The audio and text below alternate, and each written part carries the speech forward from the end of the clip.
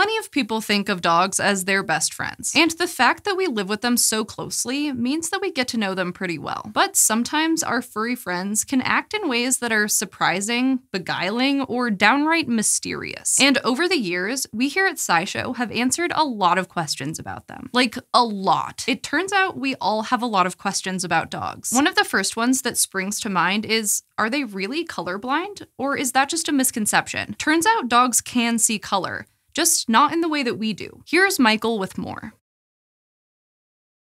Maybe you've heard that dogs can only see in black and white. It's one of those fun factoids that people like to toss around sometimes. But this, like so many things we talk about on Quick Questions, is a misconception. And the misconception stems from the fact that dogs are, from a human perspective, colorblind. But that doesn't mean they can't see color. We perceive color through a series of receptors in the retinas of our eyes called cones. And humans have three kinds, each of which is activated by a specific wavelength of light, corresponding to a certain set of colors. Most humans have cones that can detect blue, green, and red wavelengths of light, but dogs, kind of like humans who are colorblind, only have two kinds of cones that work. For dogs, the two colors they can register are blue and yellow. So dogs can't see the color red, but they can see and distinguish between various shades of yellow, blue, gray, and something that probably comes through as a dirty greenish brown. So while we see this, your dog sees something more like this. It's not exactly Technicolor, but it's a lot more information than just black and white. And setting the record straight about dogs' partial color vision is teaching us a lot about how pups experience the world. Recent experiments have found that dogs who are trained to find dark yellow objects could still find them even if they were replaced with very light yellow ones. And they didn't mistake dark blue objects for the dark yellow ones either, suggesting that dogs can clearly distinguish between many different shades and colors and don't just see in grayscale. So the next time you ask your dog to fetch your blue slippers and he comes back with a pair of bananas bananas,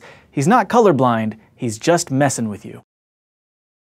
If your dog is smart enough to pull a prank like that, you might want to recommend them for Doggy Mensa. Or you might want to enlist them to test that old adage that old dogs can't learn new tricks. It's possible we believe that because older dogs don't learn as readily as puppies, but research shows that teaching them new tricks could be a really nice thing to do for your senior pups. Here's what the science says. They say that you can't teach an old dog new tricks, but that saying might not be as trustworthy as you'd think. Past puppyhood, dogs aren't actually set in their ways. In fact, research shows that not only can old dogs learn new tricks, but teaching them could be a really good way of improving their quality of life. A few studies have investigated this specifically. For example, a group of European researchers trained 265 dogs across multiple studies as recently as 2017 to push their noses against a touchscreen. It showed them pictures like flowers, cups, and other things, and when the canines picked the right picture, they were given a treat. It took the animals a while to really get the hang of the game, but eventually even the oldest doggy participants caught on, and they could consistently pick the correct picture to get a treat. While all dogs could learn to pick the right image, the researchers did notice that dogs over the age of 13 were much slower at learning than the younger ones. And that's because dogs, like humans, take longer to learn things as they get older. Dogs' cognitive development parallels ours in some ways. Just like kids seem to be faster at picking up new languages than adults, puppies seem to be generally quicker on the uptake than older dogs. A 2014 study that tested 145 border collies on skills like memory and attention found that dogs' faculties start to decline as they get older, maybe in a similar way that happens in humans. They also found that older dogs were just generally less interested in new stimuli. While puppies are curious about anything and everything, older dogs tend to lose interest in things more quickly or tune them out entirely. So, in order for older dogs to learn new things, you have to try a bit harder to capture their attention. But even though it takes them a bit longer to learn new tricks, that doesn't mean it's any less important. The researchers think that just like older humans can derive satisfaction from brain puzzles like crosswords, a bit of mental stimulation might be great for keeping older dogs healthy and happy. A 12 year old dog might not have as much energy to play fetch as she did when she was a puppy, but she can still benefit from playing games.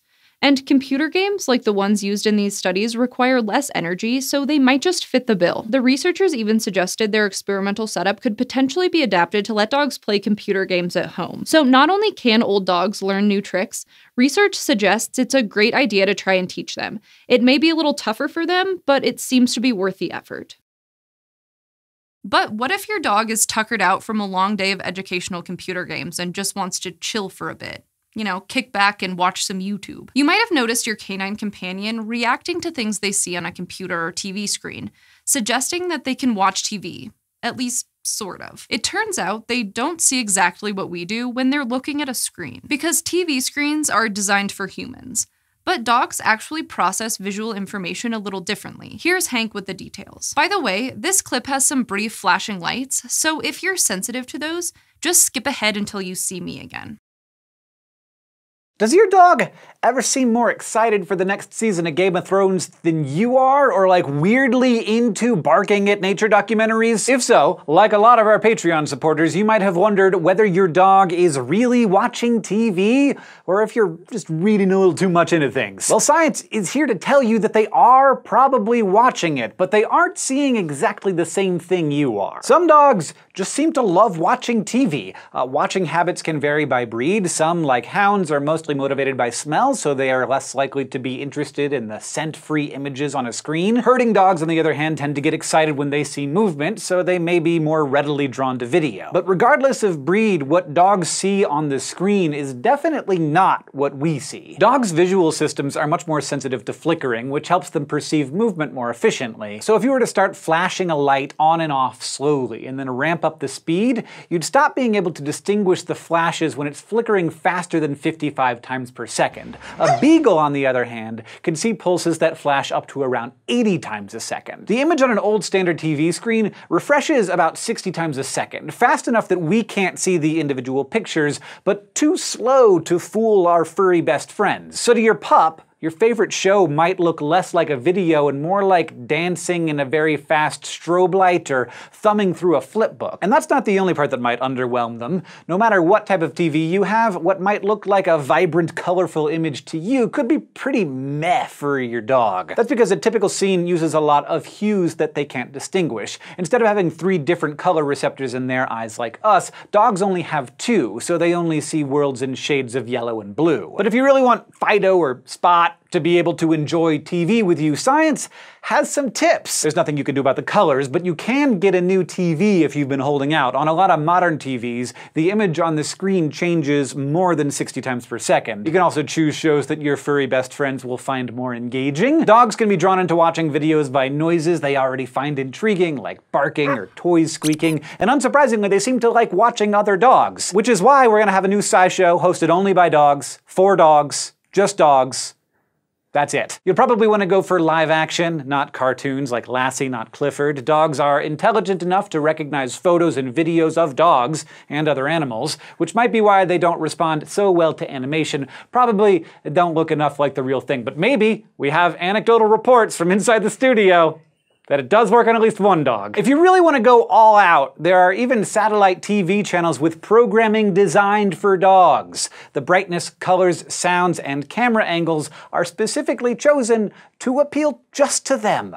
What? But if your dog is not interested in TV, don't sweat it. Researchers haven't actually looked to see how screen time affects dogs, so we don't know if it has any consequences long term, and you might think your dog is already enough of a couch potato. In any case, they'll probably be just as happy, maybe happier, if you go on a walk. And that's good for you too. We've all probably heard that if we love our dogs, we shouldn't give them chocolate, even if they see us enjoying it and seem to promise that they would love it too. Please, just a little taste. Once again, this comes down to a key difference between humans and dogs. This time in how our digestive systems process the foods we've adapted to eat. Here are the details. If you have a dog, you've probably heard that chocolate will make your pet sick. And that also applies to other pets, like cats, rats, and mice. But that just doesn't seem fair. Why do we get to go to town on a giant bar of dark chocolate, but Fido shouldn't even have one bite? It all has to do with a molecule called theobromine, which is made up of carbon, hydrogen, nitrogen, and oxygen atoms. And along with its partner caffeine, is one of the many reasons humans have loved chocolate for thousands of years. Both molecules are dangerous for dogs. But chocolate contains a lot more theobromine than it does caffeine, so it's the molecule to watch out for. Like caffeine, theobromine is a type of alkaloid, which is a huge class of molecules that generally contain rings with at least one nitrogen atom in them. And alkaloids often have physiological effects on humans and other animals. Also like caffeine, theobromine makes our hearts pump faster, our blood vessels dilate, and some of our muscles get more energy, which sounds great. But too much of it can make our hearts pump too quickly and our muscles contract uncontrollably, eventually leading to nausea, convulsions, heart attack, and even death. Luckily for our taste buds, we humans process theobromine pretty quickly, so that's not something you have to worry about. It rarely sticks around long enough to cause any harm. But our pets aren't so lucky. They process theobromine a lot more slowly, so it can easily build up and cause those dangerous effects. It's hard to know exactly why we evolved to be better at digesting theobromine, but it might be because alkaloids mostly come from plants, and our ancestors ate a lot more plants than early cats or dogs did. Whatever the reason, the same amount of theobromine stays in pets' bodies much longer, giving it more time to pile up and cause harm. On top of that, most pets are a lot lighter than humans, so it really doesn't take much chocolate to make them sick. Cats don't often get poisoned from chocolate because they can't taste sweet things so they're generally not too interested in it. But dogs sure are. Your average adult human would need to eat about 8 kilograms of dark chocolate to get a lethal dose of theobromine. But a medium-sized dog would only need to eat about 1 kilogram, and a house cat would only need a tenth of a kilogram. Sweeter chocolates have less theobromine, so the lethal dose is higher, about 5 kilograms of milk chocolate for dogs and about a third of a kilogram for cats. But they'd be sick long before eating that much. Meanwhile, you and I would have to eat about half of our body weight in milk chocolate for a lethal dose. Which might sound wonderful, but I don't want to see any of you writing challenge accepted in the comments because you'd be very sick way before finishing that much chocolate. Among other things, I'm trying very hard not to picture what that would do to your digestive system. But the next time you decide to indulge in a chocolate bar, or three, just keep it to yourself, no matter how long your dog gives you those adorable puppy eyes. But how in tune with our emotions are they really? Do they know we're sorry we can't give them chocolate? Or what about the old bit of folk knowledge that dogs can smell fear? There's actually a bit of research to back that one up. It's possible that dogs really can sense certain emotional states thanks to the chemistry of our sweat and their incredible sense of smell. At least, maybe. Here's Hank to tell us about it. If it hasn't been said to you, you've probably heard it on TV or in a movie. Stay calm around strange dogs because they can smell fear and they might attack. But until recently, scientists hadn't looked to see if that was true. Now we know that they can smell fear, but when they do, they don't get aggressive. They actually get scared too. Dogs have amazing noses. Their sense of smell is 10 to 100,000 times better than ours, which is why they can help us detect traces of chemicals from bombs, drugs, and even people buried under the snow. That's thanks to the sheer number of olfactory receptors they have, up to 300 million compared to our measly 6 million, and to the fact that relative to their size, the part of their brain that analyzes smells is about 40 times the size of ours. But even so, dogs don't rely entirely entirely on their sniffers. When they want to communicate with each other or with us, they usually can use body language and vocalizations as well. When we tell them they're such a good doggo, they process the tone of our voice and the words that we're speaking in different brain areas just like we do when other humans talk, which means they do understand what we're saying to some extent. And we know that dogs are good at picking up on physical signals. In fact, studies have shown that they can differentiate between our emotions based off of our faces and body language. So for a while, most scientists and dog trainers figured that that dogs don't need to sniff out our feelings. They can see it in our posture and hear it in our voice. It wasn't until recently that researchers looked directly into whether dogs can smell fear. When we're afraid, the sweat we produce contains different chemicals than when we're happy or sad because the composition of our blood changes in response to hormonal signals. So scientists can stick swabs in our armpits while inducing different emotions and then see how dogs react to those odors. And they did this in a 2016 study uh, published in Behavioral Brain Research and that found that dogs' heart rates increased when they sniffed sweat from people who watched a scary video suggesting that they can smell fear. But the animals had the same reaction to sweat from people who worked out so it wasn't clear if they were just sensing physical arousal. Then, a study in animal cognition in 2017 did a similar experiment. They had dogs sniff pads with sweat from people who watched scary or happy videos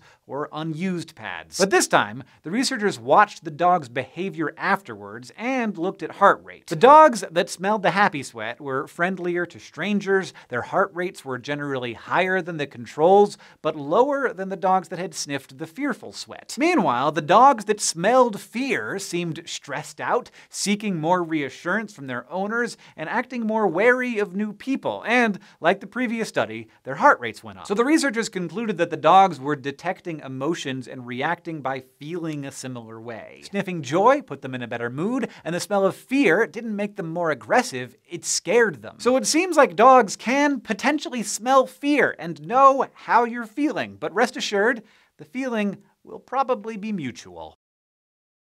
But smell isn't the primary way dogs communicate with us. Tails wag, ears perk up, and if you're lucky, you'll get one of those doggy smiles. And we have our own ways of communicating with them, too. We make very specific changes in our voices when we speak to dogs, as you know if you've ever veered into the who's a good boy territory. The really interesting thing is that this isn't just about us putting on a silly voice when we see a cute puppy it actually seems to affect how dogs interact with us. Here's Michael to tell us about the research.